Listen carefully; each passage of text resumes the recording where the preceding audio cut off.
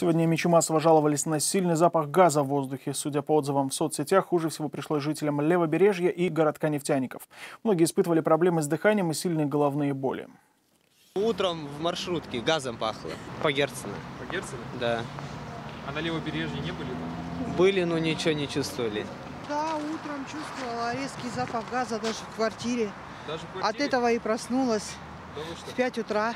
У меня племянница, она деревенская, она сразу ощутила, что вот это вот это самое. У нас э, на Рокоссовского прямо хороший запах был. С утра в единую диспетчерскую службу мэрии поступило более 300 звонков от горожан. Источник неприятного запаха искали сразу несколько ведомств. Опер Ртышское управление по гидрометеорологии и мониторингу окружающей среды и природы, охраны прокуратура и Роспотребнадзор. Специалисты взяли пробу воздуха в разных э, частях города. В атмосфере выявлен этилмеркаптан, вещество, которое добавляется в природный газ для определения утечек.